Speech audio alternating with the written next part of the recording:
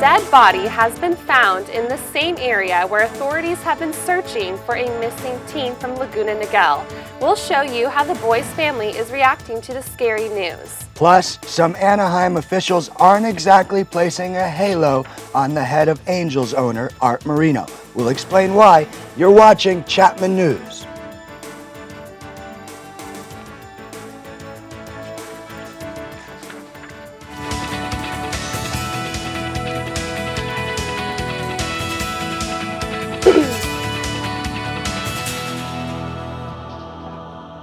Good afternoon. I'm Zach Cumer. And I'm Madison Wade. Thanks for tuning in to Chapman News. Anaheim City Council is considering a measure that could allow the Angels to drop the city's name from the team. Reporter Diane Gerstenfeld has more on the details of the proposed deal. By the way, if they do leave in 2017, 2018, or 2019, it'll be because of this action tonight. Mayor Tom Tait is not happy. He and his fellow council members debated a controversial order that would allow the Los Angeles Angels of Anaheim to extend their 1996 lease for three more years. So why would we as a city want to open the door to the Angels and say, you know what, uh, I mean, I want the Angels to stay. I love the Angels. Under the current team owner, Arte Moreno, the Angels would have the ability to terminate the lease as early as October of 2016 and as late as February of 2019.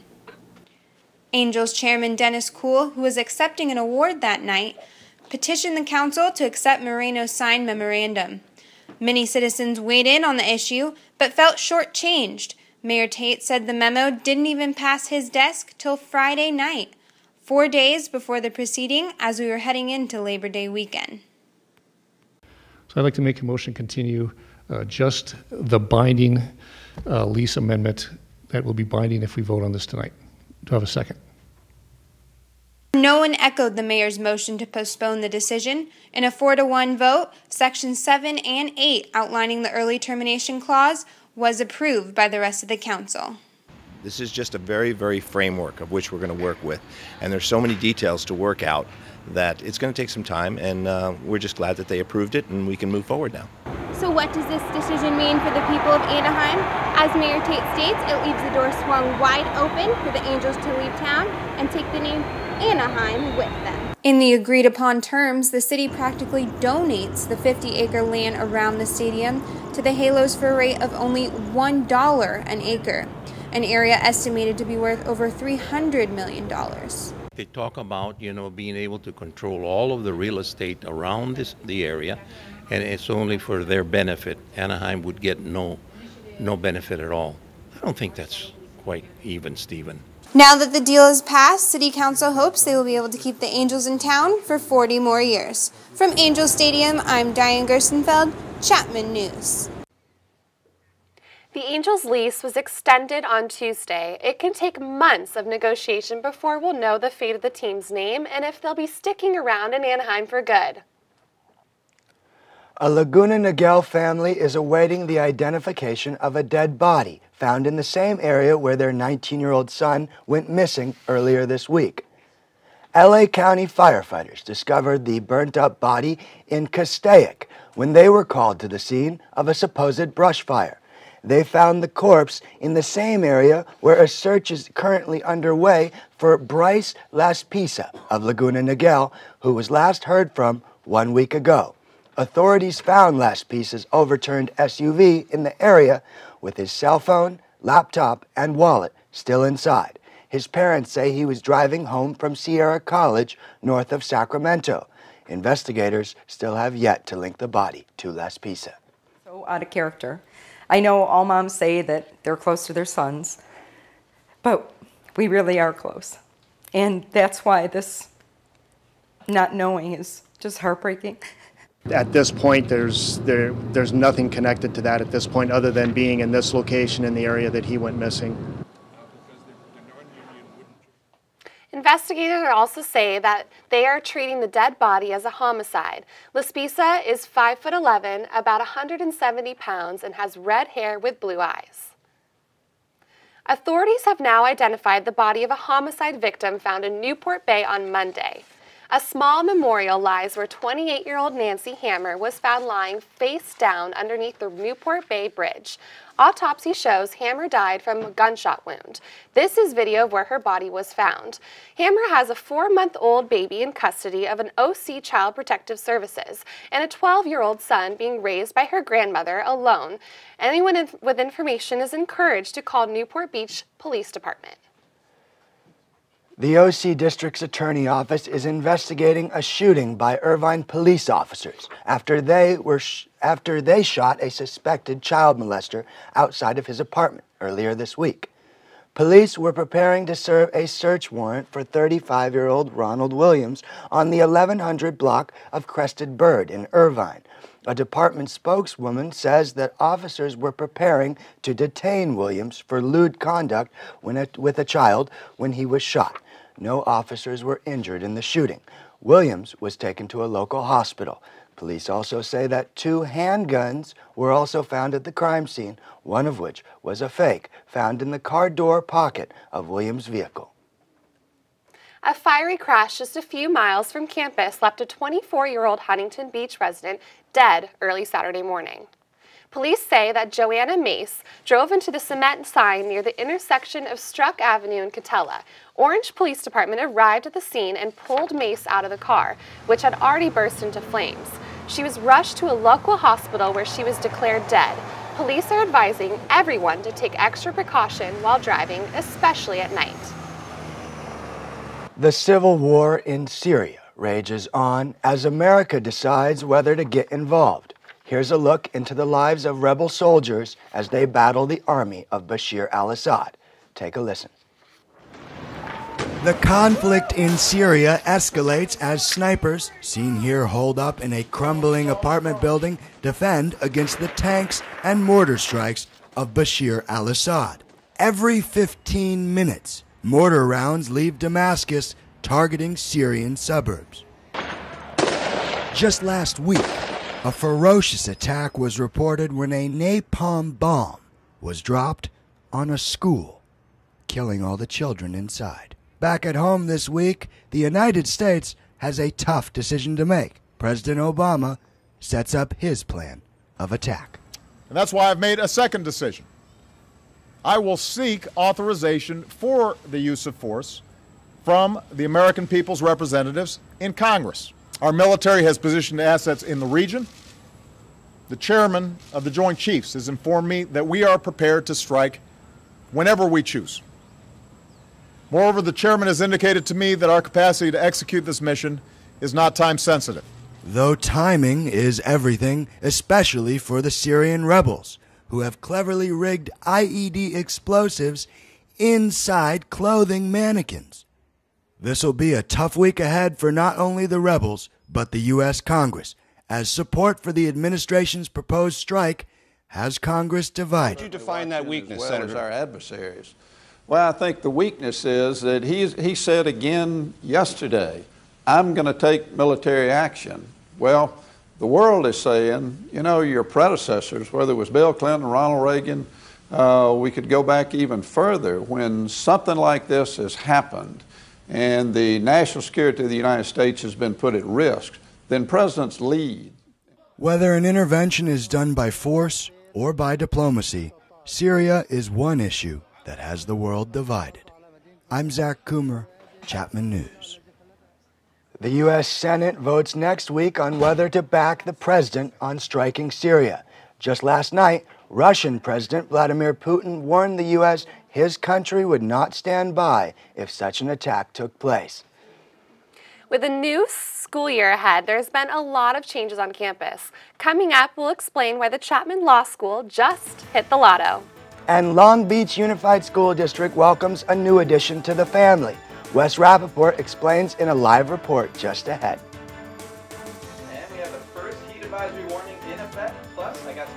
Surviving your football tailgate this weekend. All that after the break. You're watching Chapman News.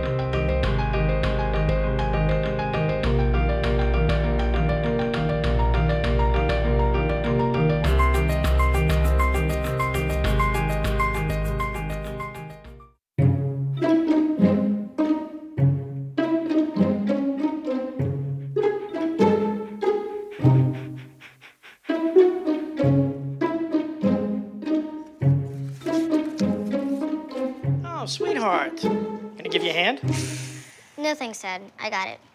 Okay. I'm gonna go fix the lamp in your room. You don't have to be perfect to be a perfect parent. There are thousands of children in foster care who will take you just as you are. How you doing? My name's Steve. My family's lived in this neighborhood for years. Recently, things got so tight, we had to go to our local food bank for help. I lost a lot of sleep worrying about what the neighbors might think. That is until I saw them there, too. How'd I do, Steve? A little stiff. You could have done a little what? better. Come on. You know, I have an Academy Award. Yeah, but not for playing me. Play a role in ending hunger. Visit feedingamerica.org slash hunger and find your local food bank.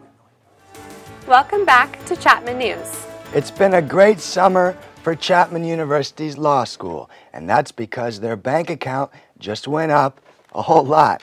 Here's the details.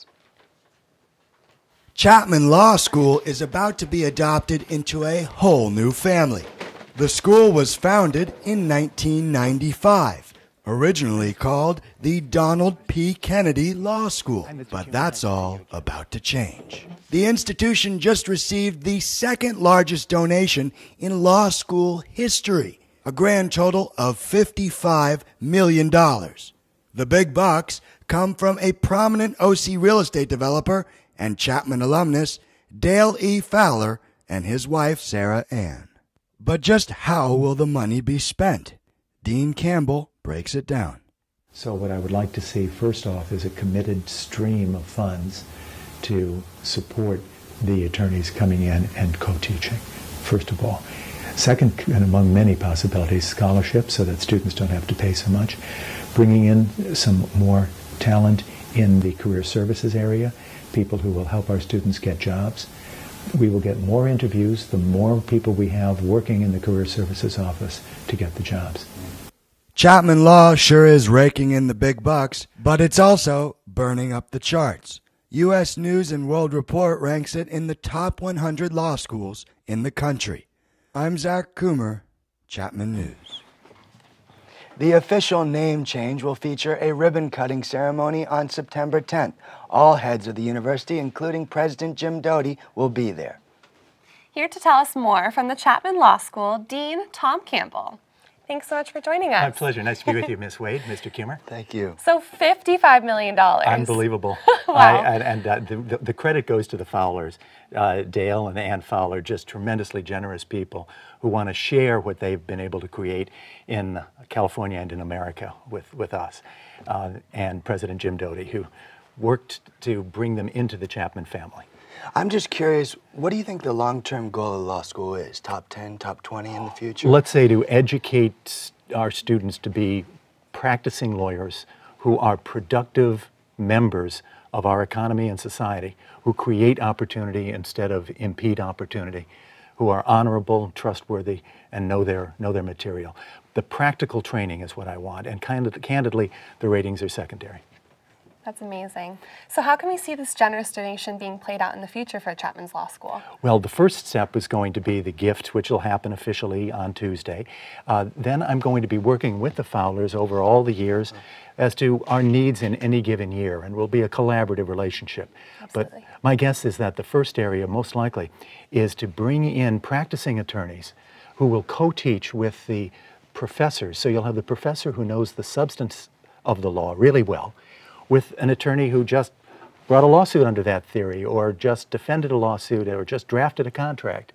So the students learn from both. And to do that, we'll be needing a little money to bring in the practicing attorney.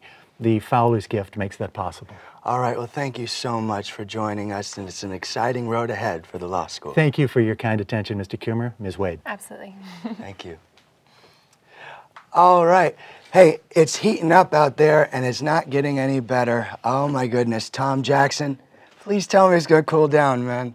I'm so sorry, man, but it's not going to get any colder this weekend. It's staying like a scorcher. Right now, the temperatures are about 5 to 15 degrees hotter than average for this time of year. However, I can say later on in the week it can start to cool down. But for right now, we'll go look at our national weather. As you can see, down in Florida, it's staying, staying a little hot. So a little bit of a little bit of storms coming that way. Up in Boston, Northeast, it's looking, I don't know, average for about this time, September. Looking about a nice fall. They should expect a good leave change and coming soon. But right now, let's go take a look at the northwest and our Doppler weather forecast because we've got a few storms coming our way. If you can see right up here, there's a lot of severe storms heading over there. And unfortunately, that could mean some delays to any of those football games going on this weekend over there. Um, all I can say is just look out and expect for some delays. Now let's take a look over at our area of the woods down in the southwest. If you can see down here, Los Angeles about 81. Phoenix, we are complaining about the heat, but they're at 96. Vegas 88. Um, San Jose is staying cool at 64. It could have something to do with the storms up there. But right now, over especially in Orange County, we got a heat advisory until 7 p.m. this uh, this night. Uh, so look out for that. Make sure you stay indoors if possible, or at the very least, put on that put on that air conditioning. But looking now over at that this weekend with the football forecast, I'm saying tailgate what you want. But here's a few tips in case you want to know how to miss that heat and stay cool. First, be sure to drink a lot of water. There's no doubt in my mind that you should be able to stay hydrated because with the heat, you're looking at uh, sweating a lot. Stay loose, light clothing. I know those footballs, uh, those football jerseys are nice and loose, so stay there. Make sure you also bring a tent. Shade is your friend. And also, be sure to keep, if you are 21 and over and you want to indulge a little bit in that alcohol, that dehydrates you, so keep down a little bit. Now let's take a look over at our five-day forecast. At the moment, on Friday, we're looking at uh, 95, a nice hot bit of weather, and We're looking a little bit more over on 81 or 91 on Saturday at the high, Sunday 88, Monday 85, and I'm telling you, like I promised you guys, Tuesday 78, partly cloudy. We're finally cooling off. Now, I'm trying, told you it's cooling off. That doesn't mean this weekend you're not going to be sweating a bit. Make sure you pop up that uh, AC back over at the desk you so much for that report. With the start of the new year, students have more to sweat about than just classes. This summer, Chapman University gave the student workout facility a total makeover. The fitness center now has brand new versions of some old equipment, like new Synergy machines and various freeform weights, such as kettlebells and medicine balls. The university also installed a new impact-absorbing floor made of recycled rubber full-length mirrors, an improved sound system, plus energy-efficient TVs. The fitness center is also extending its hours. It's now open Monday through Friday, 6 a.m. to 12 p.m., and weekends from 8 a.m. through 12 p.m. For some incoming freshmen, starting high school can be a daunting task. That means some new friends and maybe a new schedule. But imagine if everything was brand new. The classrooms, the teachers, even the principal. Wes Rapaport joins us from Long Beach where McBride High School has day one of classes this week. Wes. Madison, good afternoon to you. A brand new high school opened its doors to students this week, but this one doesn't quite have your typical curriculum. The principal here says this unique form of education guides students towards specific career paths. Ernest McBride Senior High School opened up for its inaugural freshman class Wednesday. Principal Steve Rockenbach says these early weeks have brought both some excitement and new concepts. We're very fortunate to have a wonderful group of staff members, both with teachers and the support staff on campus. The students had the opportunity to apply for the school, and they're getting some a chance to be kind of the, the pioneers for a new type of education. Students and staff excited for these new developments, while the community was hesitant at first with the addition of Long Beach Unified's 12th high school. Their instantaneous thought was the old traditional vocational ed, and that's so much different than what this is all about.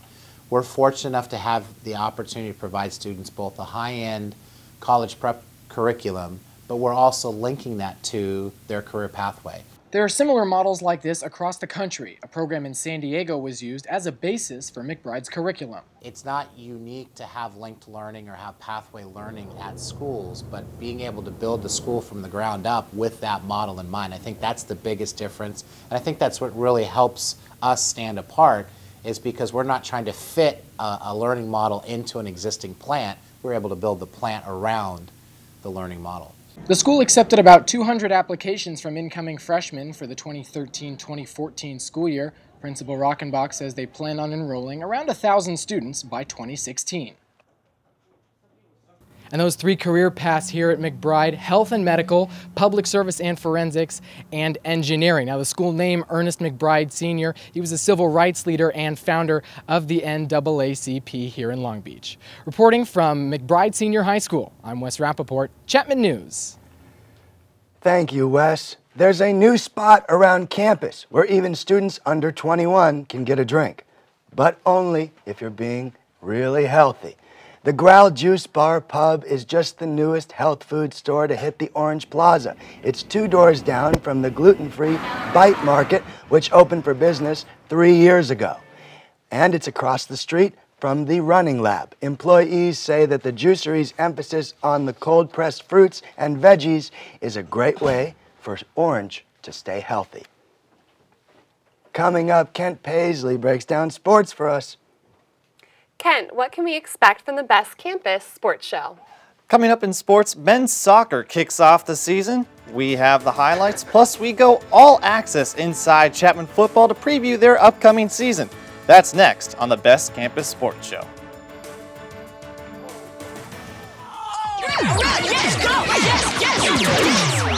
No! Come on! Oh.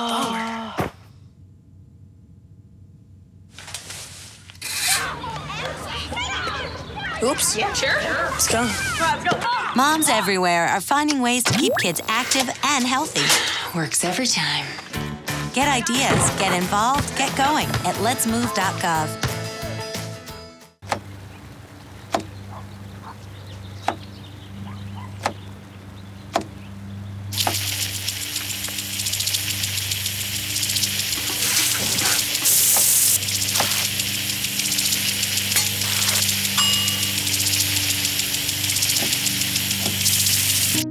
kitchen surfaces, utensils, and hands with soapy water. One in six Americans will get sick from food poisoning this year. Keep your family safer. Check your steps at foodsafety.gov.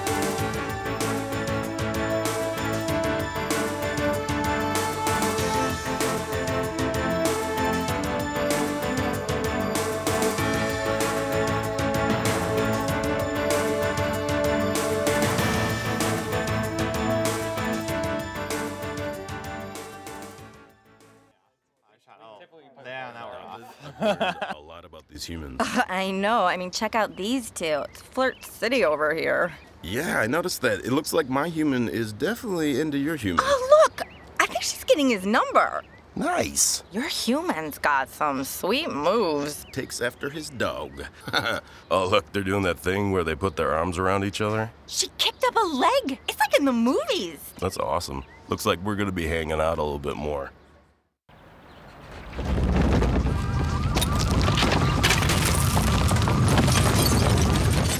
40% of businesses never recover after experiencing a major disaster. Make a plan at ready.gov/business. Welcome back to Chapman News. Kent Paisley's here with your SoCal Sports Update. What's up, Kent? Hey guys. Chapman Sports is back again as the men's soccer team kicked off the season to a supportive home crowd against the Wisconsin Oshkosh Titans. The Panthers had many scoring chances, including here, where Chapman senior Nick Echeverry's shot is deflected. Both goalies put on a show as Chapman freshman Yuri Schaefer makes a diving save. The only goal came in after a Chapman turnover as sophomore Matt Cheney scores for the Titans. Oshkosh won the contest 1 to nothing. We talked with Chapman head coach Eddie Carrillo after the game. No, we have, we have a lot of good kids, which is a good feeling. Uh, I thought we played well, and we have. It looks like we have some good depth. So I'm excited about the season. The Panther football team is preparing for their upcoming season. Last year, Chapman had one of their best seasons under current head coach Bob Owens. Trent Schlom reports on the Panthers' outlook for 2013. Chapman! Chapman football ready to kick off their 2013 campaign. The Panthers come off of a 6 and 3 season with that new pressure, especially from themselves. SCIAC championship and off to the national playoffs. High hopes for a young team following a bruising fall camp. Jeremiah McKibbins and Josh Irvin, the best offensive and defensive returners, are both already done for the season due to injuries at practice. Actually, it happened hours. Don't tell me it was the same day. Oh, same day. How did you sleep that Almost, night, Coach? I didn't sleep well. Despite those injuries, senior linebacker Zane Archer keeps looking forward. With those two guys down, it hurts, but we got to keep on going. We got to win. Plus, the Panthers still have to find a quarterback. Keen Stansel, Andrew Chavez, and Kevin Hunter all played in one games for the Panthers a year ago. Then mix Michael Leahy into the picture, who is coming off of a knee injury he suffered in last year's fall camp when he was supposed to be the starter. On top of that, the Panthers welcome junior transfer Raymond Huzar.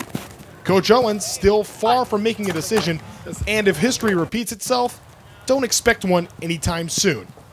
I would rather start with this crew and find one than to uh, be sitting there with maybe one guy or questionably maybe one guy. We sit with four quarterbacks.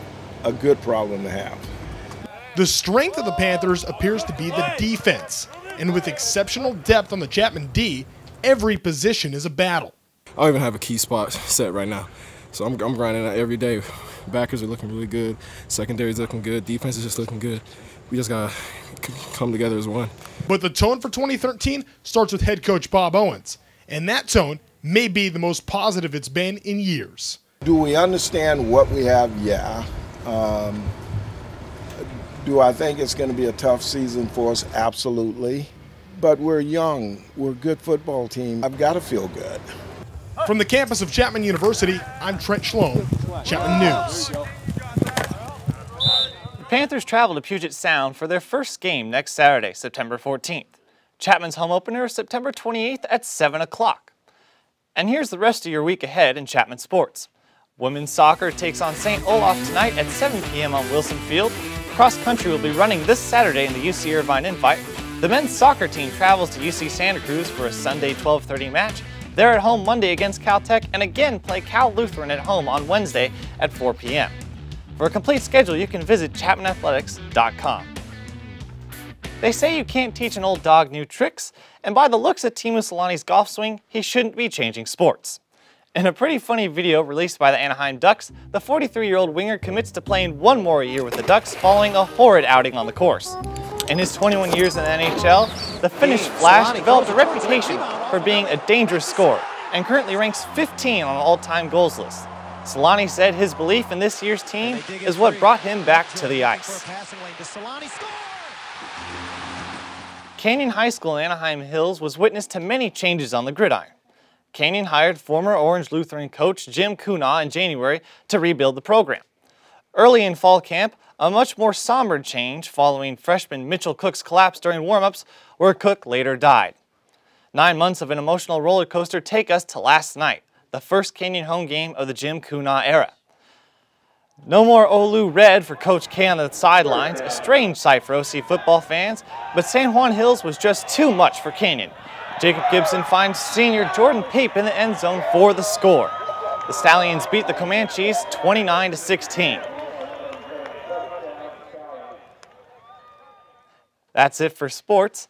Back to you guys. Thanks, Kent. Coming up after the break, Adrina has the latest in entertainment.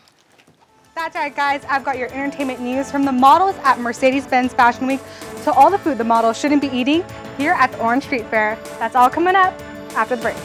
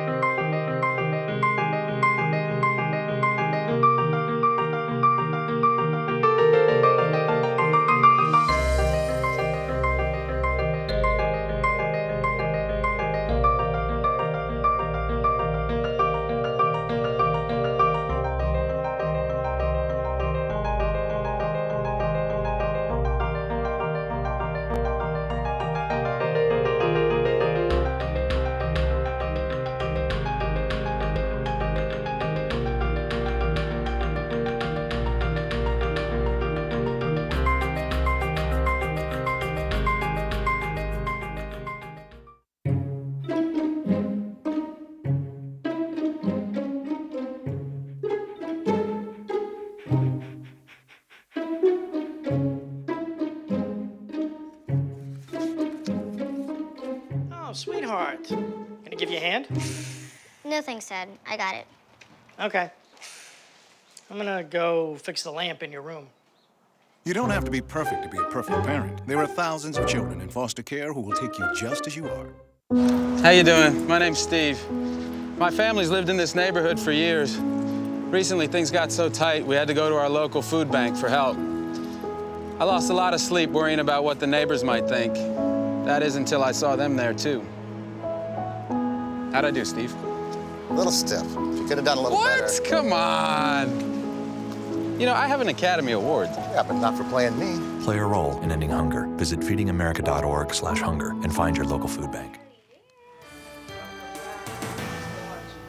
News.